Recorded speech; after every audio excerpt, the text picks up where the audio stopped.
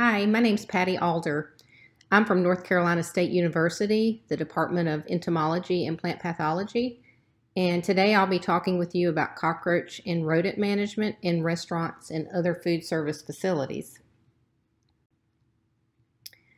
Um, you'll see listed on this slide my contact information. So if you have any questions after the presentation, don't hesitate to reach out to me uh, either via email or phone number. So with that, we'll get started um, with pest management in general. What is pest management? One thing that um, you need to keep in mind if is that all pests need the same things that we do, food, water, and shelter. So any way we can minimize access or get rid of access to food, water, and shelter to pests is a form of pest management. So that includes things like sanitation and what we refer to as exclusion. Sanitation is pretty straightforward, um, especially in places like restaurants, food service facilities. They want to make sure that they're following proper sanitation protocol and keeping things nice and clean.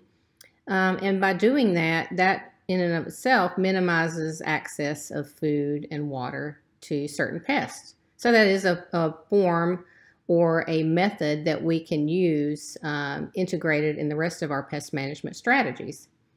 The other one we look at a lot is exclusion. Um, and that's just um, when we look at uh, the outside of a building and look at ways that pests might be getting into those buildings. So, in other words, if you were looking at an exterior door uh, and you saw light coming underneath the bottom of the door, then that would be an easy way for a pest to get in, especially for something like a cockroach, even some uh, a mouse could get in there quite easily. Um, so just closing up that gap or exclusion um, is another uh, method of pest management pest management that we can incorporate into our management strategy. So with sanitation and exclusion, as you can see on the slide here, they work together to deny pests access to food, water, and shelter, and correct conditions that are conducive to pest problems, or that provide them with suitable entry points and habitats. So even within the building, I'll show you on the next slide here how um, restaurants, other food service facilities um, can do exclusion practices within the building. I'll show you that now. So the picture on the left, uh, what you're seeing is in a restaurant and um, it's actually in the kitchen area. And it's just a whiteboard there where they had taken notes down and, and whatnot. But you can see where the arrows are pointing, that's a line of caulk right there. That's because at one point they had some cockroaches living behind that whiteboard. So they were able to clean up out from behind there um, and then seal that up. So that is really a form of exclusion just within the building. So it's just minimizing access to that area there that those cockroaches cockroaches were using uh, for harborage or shelter. The other thing, like I mentioned before, is looking on the outside of your building. Um, you can see there that exterior door. It looks pretty good. I don't see it's it's kind of far away, but you can see if you were to get up closer, there's not a lot of gaps around that door. So that's kind of what you want. The other thing that's kind of common sense here, if you look at the this picture on the right, you'll also see the dumpster there. Um, and that's a good place for the dumpster because it's close to the exterior of the building, which is very convenient for employees. Um, but with that, it's even more important to make sure that those doors remain closed back there when, when no one's coming in and out of the building and that those um, doors are don't have any gaps around them because especially with the dumpster being that close by um, you could potentially have pests coming around nearby. So other things we include would be um, dry storage facilities and making sure that things are stored properly. Um, you can see the picture on the upper left there um, that's what a lot of restaurants will do with bulk storage, dry storage. They will store it in these pest-proof bins, uh, and that's what you would want to do. That will minimize access or prevent access um, for pets for pests um, for that dry storage or that uh, that dry uh, bulk storage there. Um, other things uh, we recommend is that uh, deliveries are inspected outside the storage area. A lot of times, as, as you'll see when we start talking specifically about cockroaches, um, there is one that, that likes to live inside with people. The number one that get in that gets into restaurants um, is the German cockroach, and so it doesn't really live outside in this in this part of the in the United States at all. So it hitchhikes. So that's how even if someone had a clean food service facility, a cockroach could hitchhike um, on a delivery. So we, we always recommend that those deliveries are um, inspected outside before they're brought in and kind of unloaded into that storage area. That'll help minimize movement of any potential hitchhikers. Um, storing susceptible items properly, we've already mentioned that there um, with the picture of the the storage, the, the plastic bins there with the storage for um, dry goods.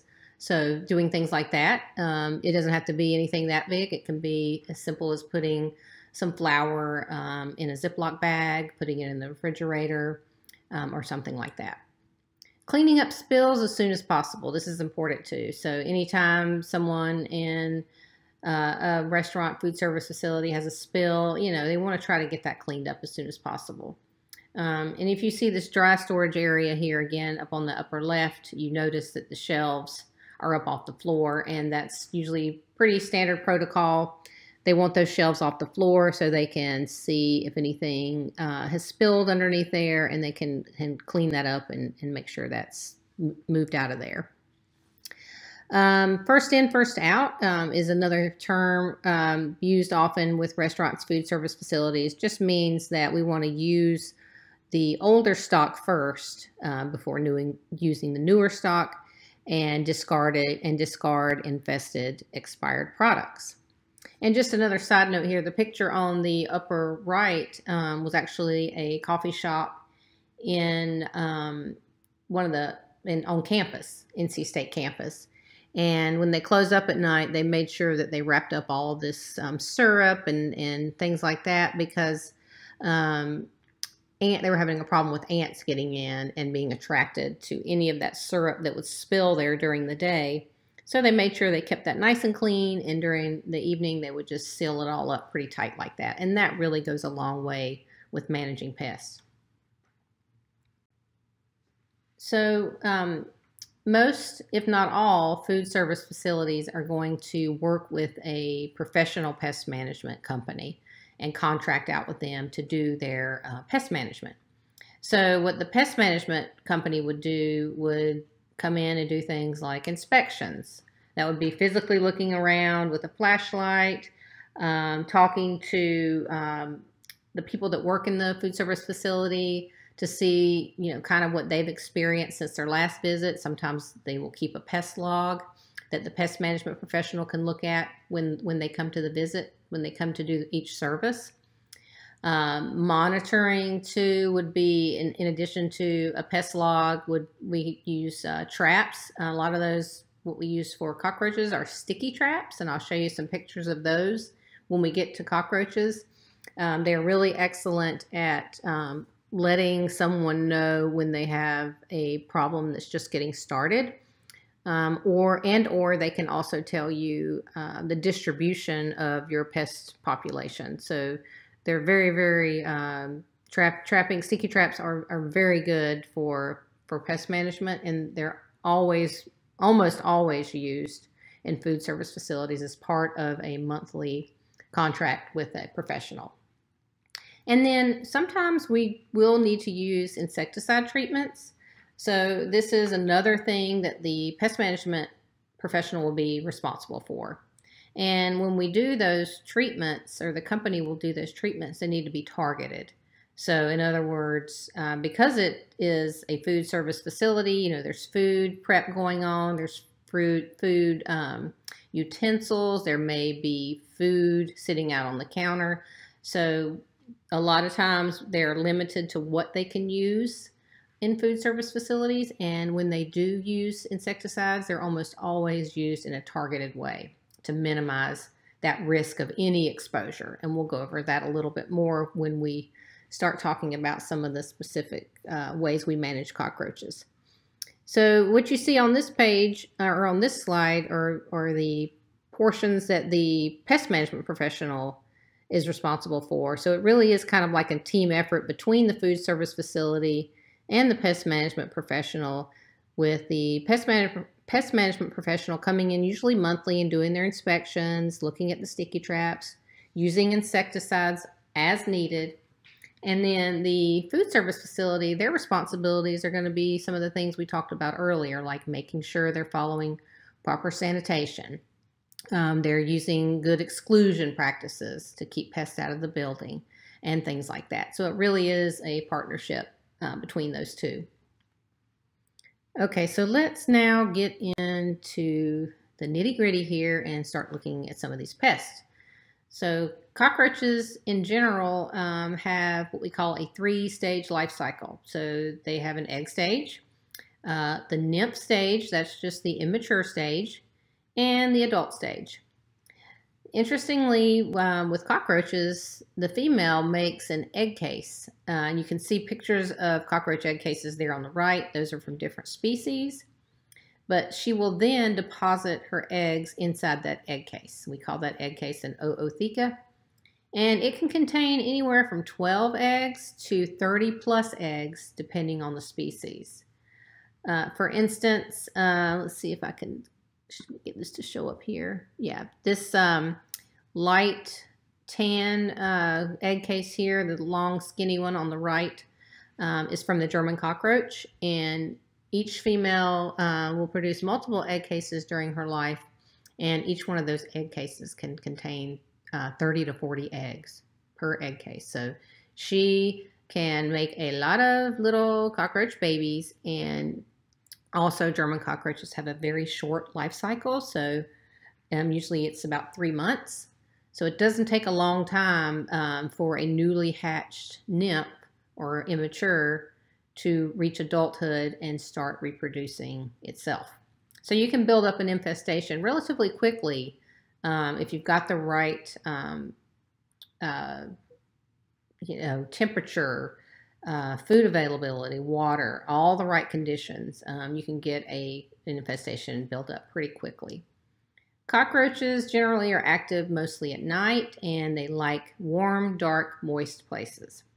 So um, they're going to be tend, tend to be found in areas. That's why a lot of times they like kitchens because obviously there's food in there, um, water, and a lot of the equipment um, you, uh, makes heat, generates heat. So you think about refrigerators, microwaves, um, stoves, all of those uh, um, generate heat. And a lot of times it's not uncommon for us to pull out a refrigerator somewhere uh, if we're looking at an account with German cockroaches and they'll be living kind of behind um, the refrigerator, own the refrigerator, and nestled in there any any way they can on the outside of the refrigerator, wherever there's any cracks and crevices. So they like that warmth. So we're going to start here. We're going to look at three different cockroach species uh, that we see commonly. Um, the first one is the German cockroach, and this is the one that I mentioned that is going to be the one that uh, most likely will set up an infestation indoors. So they're not associated with outdoor infestations. They only live indoors with humans. So these are the number one pests we have in people's homes, restaurants, and facilities like that. Um, the adults are about half inch long, um, and then they have two dark stripes on the area directly behind the head. You can see it right here. Let's see if I can get this going again. Um, right there. Two black stripes, this area behind the head, this little round shield looking thing is called a pronotum. Um, and then you can tell this is a female here. She has an egg case attached to her still. And now, interestingly, the female German cockroach will carry her egg case with her all the way up until about 24 hours before the eggs hatch. So in terms of a cockroach, she is a good cockroach mother. Um, a lot of other cockroaches will make their egg case and then they'll drop it after a couple of days, usually in a hidden or secluded area.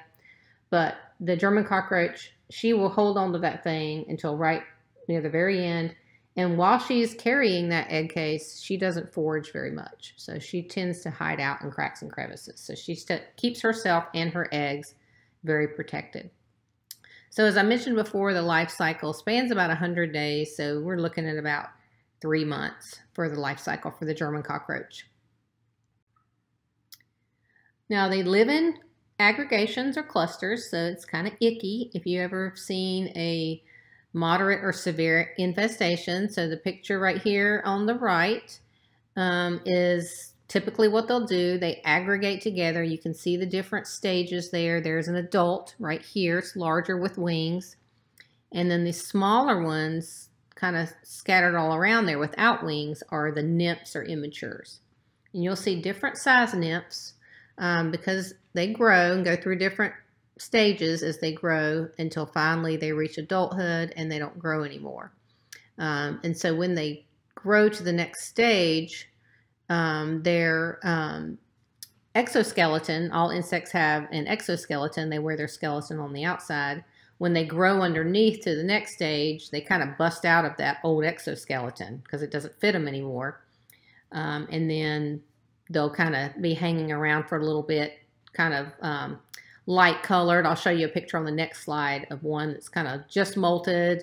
It looks white. It's very light colored. Um, but over time, that new exoskeleton will harden and darken. And the reason I'm mentioning all this is that is one of the signs of infestation sometimes of a German cockroach is to see the old shed skins. The other one obviously would be seeing cockroaches like you see here and then seeing their fecal material. You can see it kind of the little black dots like almost looks like little pepper all over the refrigerator or whatever that appliance is. That's a perfect place for them. Like I was telling you in an earlier slide, um, that's where they like to hang out. Um, so that's what you'll see a lot of times. That's typical for their behavior. And as I mentioned, um, their habitat is primarily, but not strictly, areas with moisture. So, and food and water, obviously, but um, they need moisture. So, kitchens, bathrooms, etc. You will see some uh, exceptions to that from time to time. So um, this is another picture. You can see them kind of scattered all over the wall there, but again, they like to hang out together. You can see the poop on the wall. That's kind of what it would look like. Um, and you can see up here the one I was telling you about that's just molted. A lot of times we ha have people tell us that they, they say, I saw an albino cockroach and that's generally what it is. There's not really there's no such thing as an albino cockroach, um, but it, what they're probably seeing is a newly molted cockroach, and that will harden and darken over time, as I mentioned, over a few hours, really.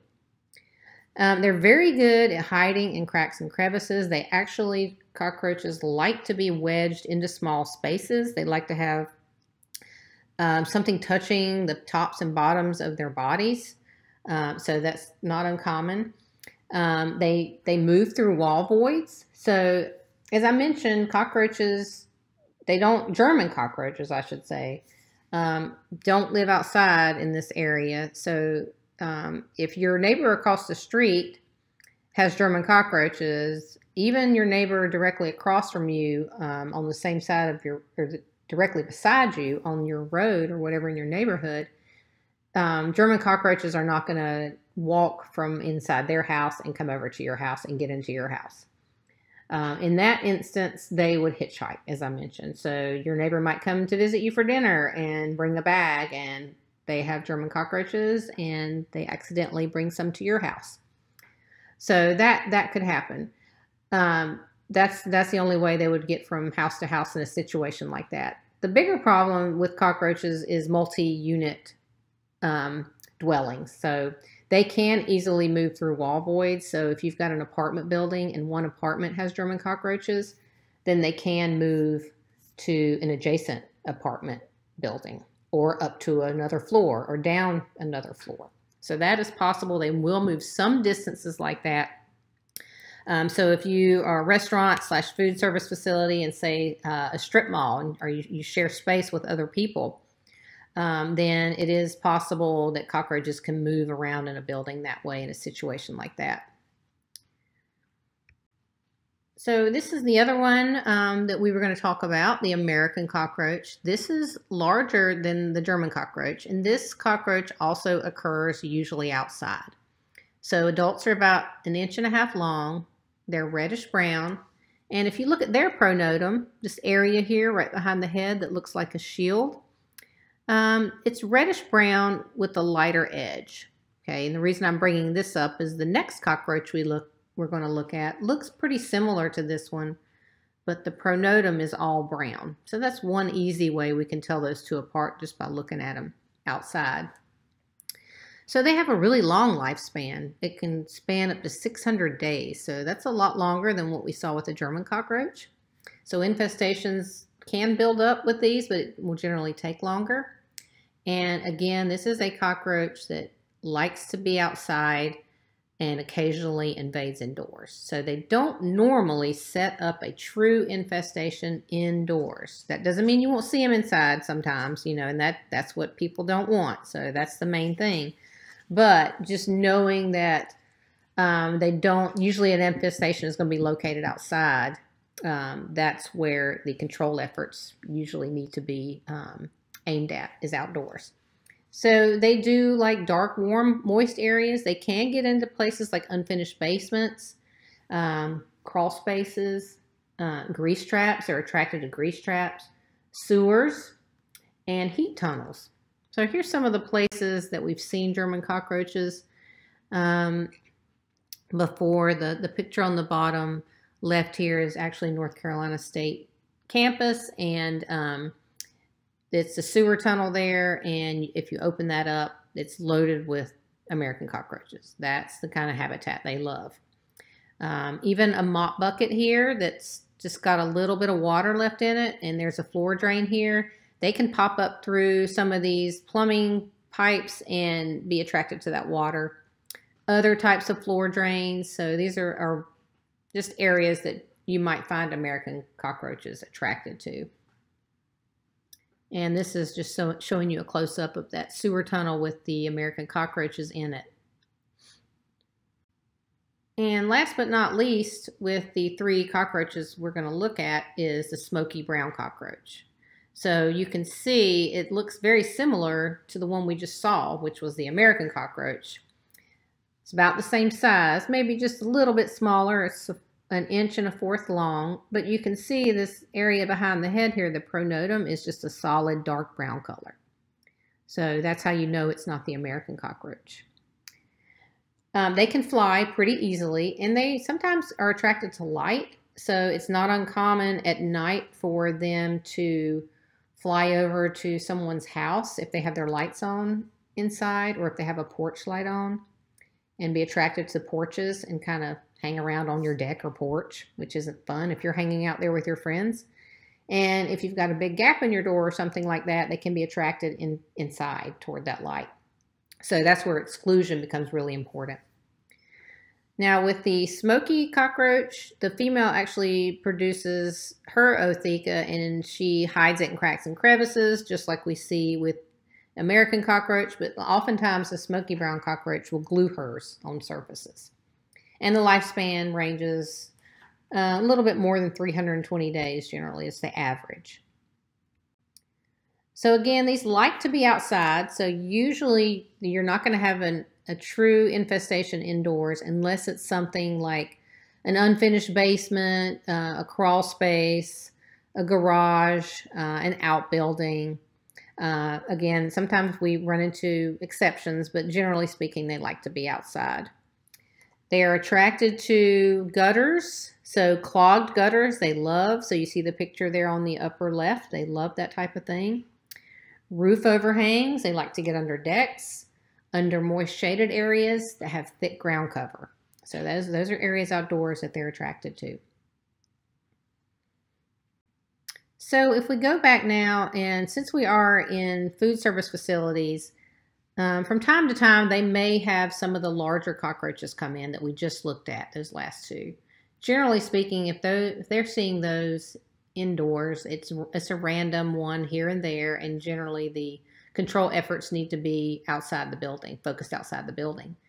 Now, inside the building, though, the German cockroach is the one that we see most commonly in restaurants and homes and places like that, setting up infestations. So, knowing what signs of cockroach activity are is going to be important for helping folks um, know when they have an infestation just starting or one is developing um, and it's getting pretty bad, et cetera, et cetera. So, some of these we've already looked at and talked about. But the one on the left there, uh, that's more dried fecal smears or, or, dried feces. And you can see that's a hinge there. It looks like it's to a big, um, maybe walk-in freezer or something like that, a refrigerator. And again, with, when that door's closed, there's enough of a gap there. They like to be wedged in there. Uh, as I mentioned, um, uh, egg cases. So sometimes you might see an egg case after the eggs have hatched. You'll just see an egg case, empty egg case, especially with German cockroaches. Um, you can see live or dead insects sometimes, the cockroaches themselves, or the shed skins that we were talking about before. Here's some more pictures of fecal smears and what they might look like. And again, it's not uncommon to see them around places where there's hinges, as you see here on the right. Um, heat, areas that play or um, items that generate heat, like this looks like a hot water heater, uh, and in electrical outlets. So they will come in and out of electrical outlets uh, and move between the walls and things like that that way. So it's not uncommon to see uh, fecal smears in places like that. Some other areas we sometimes see German cockroaches.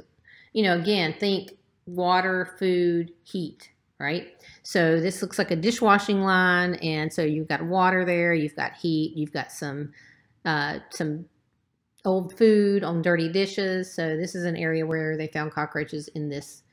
Uh, I'm not exactly sure what this is, but they opened it, and you can see here it's got chips in it, computer chips and whatnot. So this thing is going to generate some heat, and cockroaches were kind of hanging out and living in there.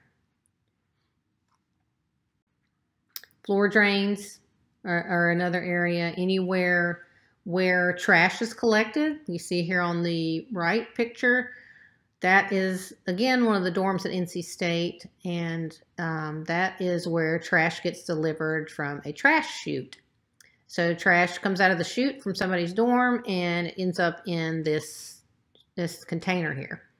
All good and well until you get, like you see there, everything's collected on the bottom there, and if no one cleans that up, that is a very good attractant for not only cockroaches, but rodents, ants, you name it. So keeping it clean is very, very important. Mops, again, places where mops, uh, water is stored, or, you know, that needs to be emptied out, is what we tell people, because even though we might not think it's, you know, wouldn't be very good for us, um, cockroaches and rodents don't mind at all. Um, and then mops, again, make sure hanging mop, mops are hung up to dry like you see on the left here. Um, what happens is if you leave something like this, uh, this mop down here on the floor, or someone throws it in the corner in a closet somewhere and forgets about it, and it doesn't completely dry, then that mop can start to ferment. And with that, um, that will not only attract cockroaches, but also fruit flies. So that can lead to a problem with fruit flies in addition. So again, with storage areas, we want to do things like um, reducing humidity, checking deliveries, as I mentioned before, common sense type practices. And then sticky traps, as I mentioned before, this is what they look like. And we can use these for monitoring for activity. Um, you can lay them out flat, like you see the picture on the left there or you can fold them up. And a lot of times folks will fold them up like that because, again, cockroaches like cracks and crevices. So they think they're more apt to go in there. Either way is fine. Um, it, again, these are more for monitoring. They obviously will control or kill the cockroaches that get on the sticky trap but usually um, they're going to be used in conjunction with some other control methods. But they are very, very good for monitoring, as I mentioned before. Uh, if you've got a, a, restaurant and you have no cockroaches, your restaurant's clean as a whistle, um, but you get deliveries in and out, and then what's going to happen is your pest management company is going to keep these sticky traps in there regardless of whether or not you have any cockroach activity. That's because at some point down the line, maybe you get a delivery and it's got some cockroaches in it. Pest management comes the next month and sees some cockroaches in the sticky trap, and they know at that time that you're just getting, you know, you can go ahead and get a handle on that infestation before it gets too heavy, before it gets too big. So those are very, very good um, for cockroaches, the monitoring traps.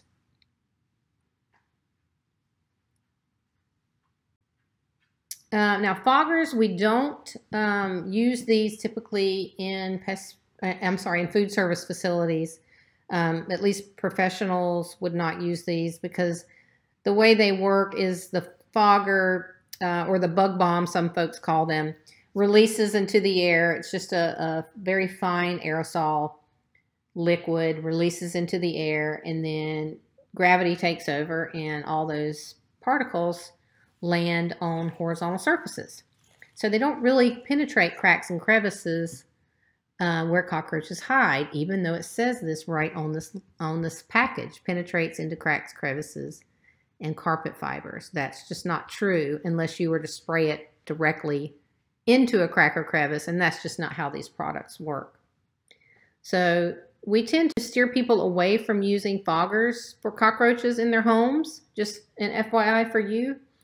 Um, and there was a study done at NC State along with some other folks that looked at the effic efficacy of um, foggers in, in homes and found that they just weren't effective. And that's just because of what I mentioned. Um, the material, the chemical doesn't reach the cracks and crevices where the cockroaches are hiding. So even though these things have cockroaches on the package, um, uh, and says it and and claims that they penetrate cracks and crevices, it, it's just not true, and they're just not very effective um, for German cockroaches.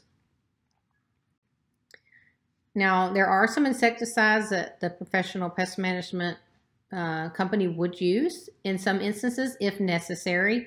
They don't uh, use them on a calendar basis. They only use them when needed. So again, that's why that inspection and monitoring comes in so is so important.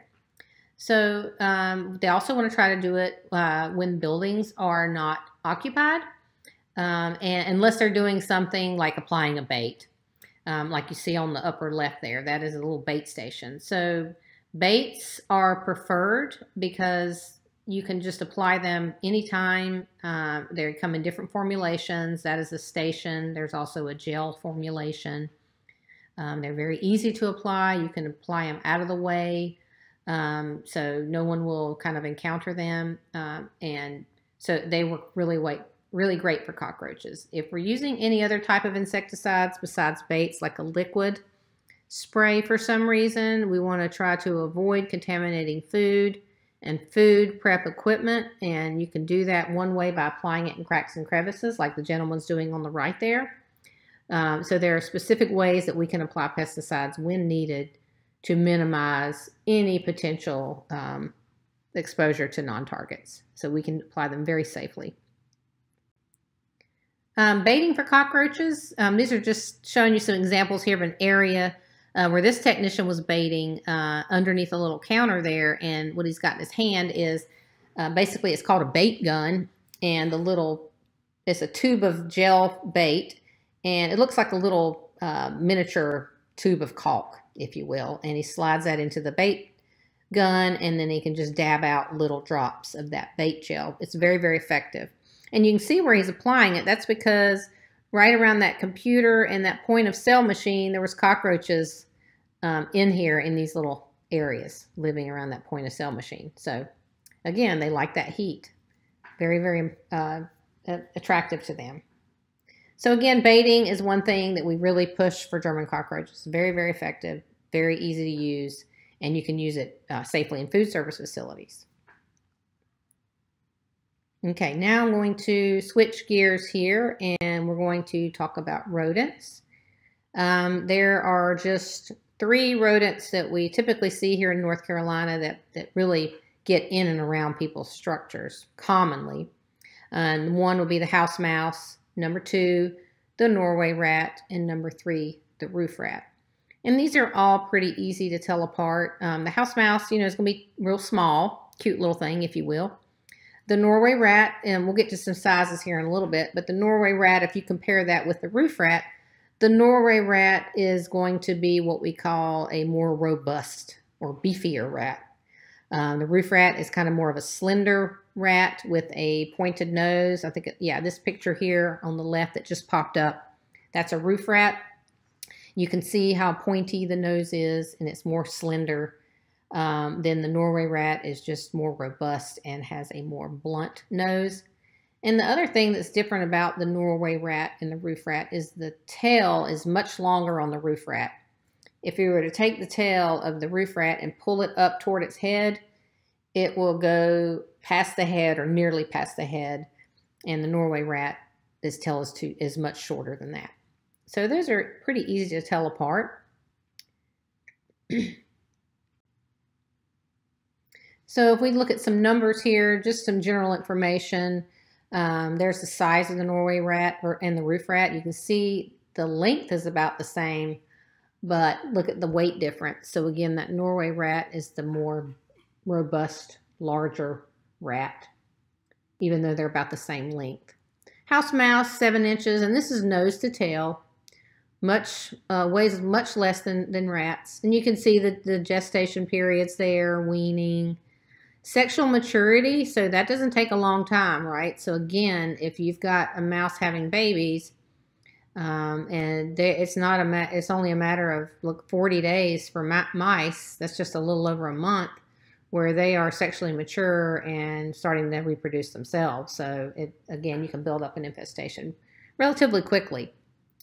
And there's some uh, numbers there on about how long they live as adults. So just some general information there about rodents.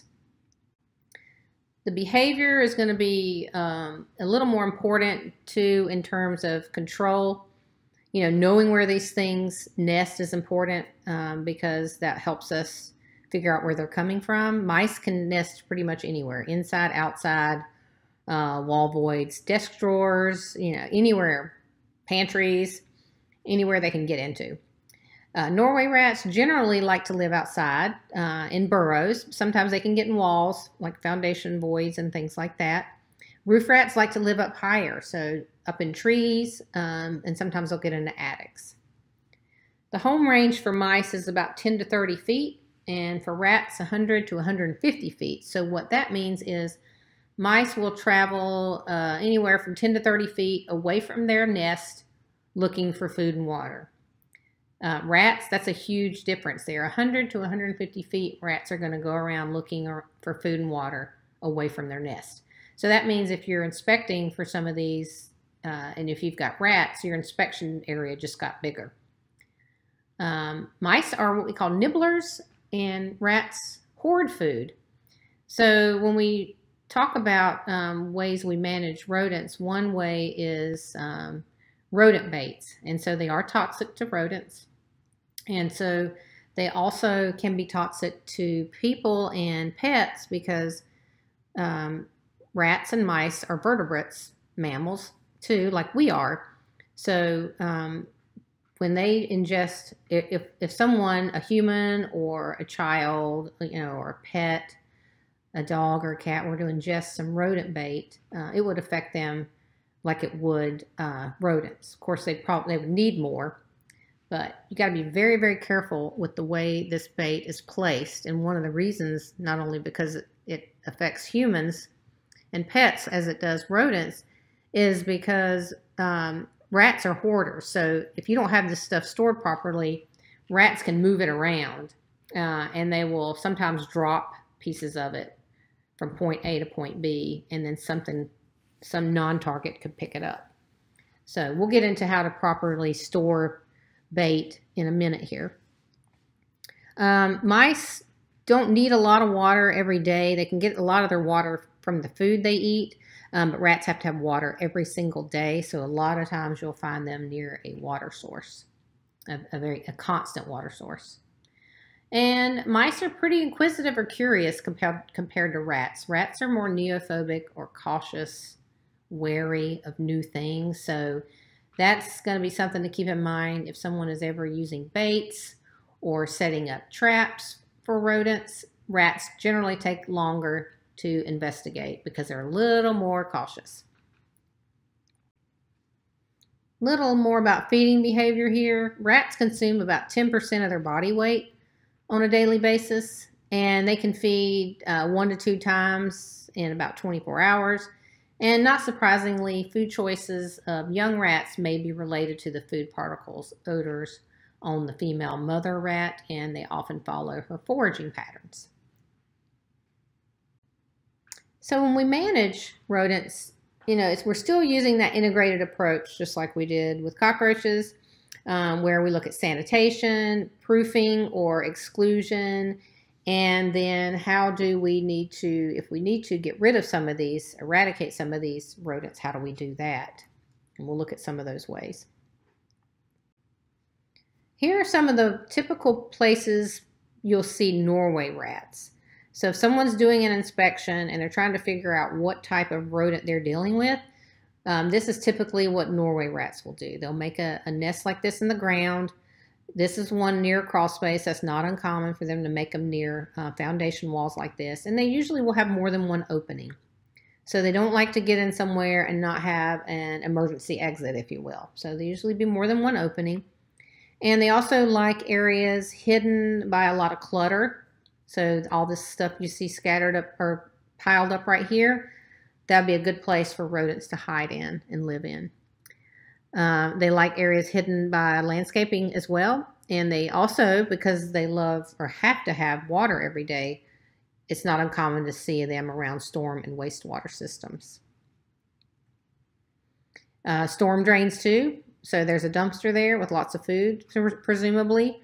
Um, and then um, there's a storm drain there, so a water source, potentially. Roof rats, um, again, they also like areas hidden by vegetation, trees, or other landscaping, and they also like higher areas, so it's not uncommon to see them in attics or up in trees. And that picture on the right is just some damage that a roof rat has caused by chewing into something. Mice, um, they, they can nest pretty much anywhere. This is These are some indoor areas here. Um, areas in uh, storage like, like you see here on the upper left. Uh, it's always a good idea, we tell folks, if they don't need to store them in the boxes, um, to store them outside of those boxes because um, you can't see what's going on in there. Um, if you have something that you can put them in like a plastic tub, you can put that stuff in, or it's fine to keep things stored in cardboard boxes like that that are moved around pretty regularly. So if it's some stock that's going to be moving in and out of there pretty quickly, it's not usually going to be an issue. The problem becomes when something sits in a corner somewhere and it's forgotten. That's when mice will generally move into it. And that's an example here, like this picture on the, the bottom here um, was an old box that had been stored somewhere and nobody had used this for a while and mice had set up shop in there. And you know that, you can tell what they've done there is that's nesting material mice will shred up material and make a nice little cozy nest with it. And this was a neat situation here on the right um, where it was an elementary school that kept having mice show up in the school. And one of the places they found them living was the vending machine. So again, nice and warm there for them. There's a trash can nearby with some soda, um, presumably maybe some leftover food. So it was a nice little place for mice to live. That's just showing you some other damage there, chewing damage. Um, other signs of activity would be um, runways. So uh, if you've got a large rat infestation, uh, not even, it doesn't have to be even really that big, but they have a nest somewhere or a burrow and a steady water source. So they're traveling back and forth all the time. It's not uncommon for them to leave trails in the vegetation. The other thing is they will leave sometimes uh, feet marks or tracks in the soil or dusty areas indoors, like you see here on this in this dusty area right here. Another sign of activity would be rub marks or what we call grease marks. Um, their their skin is kind of or their fur is kind of oily, and rodents don't see very well, so they have those whiskers, long whiskers on, on their head. So they'll typically travel along walls, corners, and they'll once they find a pathway, they'll stick to that pathway if they can. And so they'll leave these little grease or rub marks everywhere that you see all these browns, brown on here and on the walls here. Um, there's a spot here, and you can see there's some chewing damage here as well, which I'm going to show you on the next slide. There's more chewing damage. That's another sign of activity um, when you, you see things like this that are chewed up. And, you know, they can chew on them for a variety of reasons. Mice will chew on things and, you know, bring it somewhere else and, and make a little nest there. So that's not uncommon to see. And then their teeth, their front teeth grow a lot, so they're they're always chewing on things to keep them filed down. One thing you don't want though is them chewing on an electrical outlet. So, you know, if you get squirrels or something in your attic, it's always a good idea to try to to get those excluded. Droppings would be another thing that you might see as a sign of activity. Um, these are rat droppings on the top. They're much larger um, than the mice droppings that you see down here. I know the size is, is not to scale, but you get the general idea. Um, you can also see urine. This is all urine and fecal material. And what happened in this case was um, it was in an office building and they had um, a rodent infestation and they couldn't get a handle on it and finally found out the rodents were actually living in the drop ceiling. Um, so they just made a big mess up there and the whole thing had to be replaced. So with indoor storage too, it's going to become important like we saw with the cockroaches. Um, the shelves, you know, they either need to be movable and they can be a little closer to the ground if they're not movable, they need to be about 12 inches above the ground. And that again is so you can look under there and see what's going on. Have they been any spills under there? Are there any signs of activity, droppings under there? Um, if you wanted to leave a sticky trap under there, you could. So um, good idea to keep those shelves like that up off the ground. Same idea here on the left. It's like a big warehouse where they store a lot of goods. They'll always store the shelves up away from the wall, you know, about 12, inch, 12 to 18 inches. Same kind of principle. They want to be able to access that area and inspect that area. Um, so keeping the landscaping outside um, uh, a certain way can help minimize rodents too. And this is one example. The picture on the left is one of the dining halls at NC State. And they had a problem with not mice, but rats getting into the dining hall. So as you can imagine, there weren't some very happy people going into the dining hall, students or parents, right? And what they found out was um, the rats had made burrows under this thick decorative grass. Um, so they came in and just pulled back about 12, 18 inches, pulled all that up, and then put down um, gravel, decorative gravel where the burrows were. And the gravel is such size where the rodents have a hard time burrowing into it. So little things like that go a long way with pest management. And things like this, like we saw before, trash, um, spilling outside of trash cans, recycling, um, can attract not only rodents, you know, cockroaches, um, yellow jackets. We see them attract, attracted to areas like this in the summertime. Um, this here uh, is not only a good place to draw attention or attract rodents, um, but over in here where this tarp has um, gathered, there's water in here, and there was actually mosquito larvae living in that water. So you'll learn more about mosquitoes at some point during um, your training, um, and that is a source of, for mosquitoes to lay their eggs. So that was a double whammy there. So with exclusion with rodents, um, you know they're gonna they're they're larger, um, but you the holes that they can fit through. I'll tell people remember the 35 cents rule. So mice can get through an opening the size of a dime or smaller. Rats can get through an opening the size of a quarter or larger. So that's what folks want to be looking at when they're looking around the outside of their buildings. And you, screening can be used. Um, metal, sheet metal right here, um, plaster, caulk, um, the foam. I think I've got a picture on the, yeah. The expandable foam um, works, but you see here they've also got some hardware cloth attached to. That's because rodents are pretty good at getting through expandable foam. So let's look at now some extreme rodent sports. Some of these are going to, pictures are, might be kind of yucky. I will go ahead and warn you. Um, we're going to be talking about rodent trapping and rodent baiting. Rodent trapping works best with small populations uh, because of the need for frequent trap inspections. So if you think about it, if you're putting out traps, you're going to end up with, hopefully, the point of the traps is some dead rodents. So those dead rodents are going to start to, you know, smell if they're not removed regularly. So um, it's easier if there's a smaller infestation. Not only that, you have to reset and rebait traps. So it can be a big project. So they make all different types of snap traps. This is your standard wooden trap. They make them for mice. They make larger ones for rats. So you can get those in a variety of sizes. Uh, they make plastic ones, like you can see here with some metal snaps. Um, this is plastic here, almost reminds me of a chip clip, but not quite a chip clip.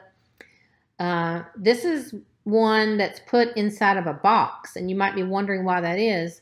Um, it's because, you know, if you ever have to put a trap somewhere in a situation where, you know, you could have a child trying to get to the trap accidentally or on purpose, you know, somebody that's curious, or a dog or a cat, then you can put it in these tamper resistant boxes. And you see this is the lid here. So once you get the trap in there, the lid just folds over and closes and it locks. And the rodent comes in these openings here. So that can be effective as well. Sticky traps can also be used for rodents. Some people are not a fan of them because, you know, they, they don't kill the rodent as quickly as a snap trap. But they are an option. Um, what you're seeing here on the left is a trap with a plexiglass top and it's got a sticky trap in it. So the plexiglass top there just enables someone who's monitoring those traps to see what's going in there without having to opening every open every single trap, which can be cumbersome if you've got a lot of them. Now these do need to be placed in strategic places. So remember that rodents run along walls. Um, they don't see very well, so we always want to place the traps with the openings along the wall, like you see here. That's good placement right there. Or near doors, okay, like this, and in corners. Um, and again, glue traps work, but they don't kill the rodents immediately. So that's something to keep in mind. Patience is a necessity. Uh, so remember, rats can be neophobic. So with trapping like this, sometimes they can take longer to trap rats. So sometimes they have to be pre-baited. And then as I mentioned before, we do have toxic baits for rodent control. And this is best left to professionals, again, because most of these products are, they, they're anticoagulants. That means they work by causing internal hemorrhaging. That's how they kill the rodents. So um, you know, sometimes we hear cases of a dog getting ingesting enough of these to where they end up at the vet. Um, it is reversible if they get there in time and depending on how much they ingest, but we want to avoid that if at all possible. Um, so we usually use the bait outdoors in these bait stations. So you can see this is a bait station here, like you saw the one with that trap in. This is just closed, and instead of having the trap in it, the snap trap, we put bait blocks in it, and I'll show you how those look in a minute. Never use pellet bait, especially indoors. So we don't want this indoors because if you think about this pellet bait just being open like this, if a rat or mouse could come along there and move that around or who knows could get in there, you just don't know and find that. So best not to do it inside. If it, it does need to be put inside, they make little bait boxes that can be put inside where they're they're um, tamper resistant and lockable. So these are what they look like when you open them. The bait, this is kind of old bait here, and that's what they'll do is they'll come out during part of their service and they'll exchange out the old bait, put new bait in there, but they're blocks and they slide on these metal rods that fit in here in the station. And then you close it up and lock it, and you see he's got it put on this piece of cinder block here, so it's not easily movable. If a dog were to come along there and try to pick that thing up, or a child were to come along and try to pick that thing up and shake it, one, it'd be hard to pick up and shake it. Two, the bait wouldn't come out of there very easily because it's going to be on those rods. So that's to minimize that stuff being moved to areas it shouldn't be. They need to be checked regularly, like this person's doing here, and the bait switched out, as I mentioned. And they need to be secured, like you saw before on that cinder block. And sometimes we do run into problems like this where you see bait not put on the rods. People get lazy or tired and they just throw them in there like this. But what can happen with that is you end up with some of it outside the box. And that's a pretty good chunk there. So we recommend that folks don't do that. They put them on the rods. That's what those rods are meant for in those stations. So we do discourage baiting indoors. Um, check the traps and areas daily because again, if you're dealing with trapping or baiting, presumably you're going to have some dead rodents. So they need to be disposed of as soon as possible. One, it just, nobody wants to see it if they happen to see it. And two, it might cause an odor. Okay, that is the end of my presentation. Um, so um, what I'll do real quick here, um, I'll try, let's see if I can do this.